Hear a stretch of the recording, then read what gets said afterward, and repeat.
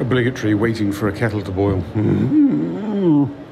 After a long and interesting chat at lunchtime, I am now Googling for Nepalese beer barrel ovens. And in the news today, Anthony Bourdain has uh, committed suicide. Sadly, took his own life, um, which is not good news. An amazing, amazing, and inspiring man. How did I get from, you know, dunking breaded clams in hot grease to where I am today? If I know.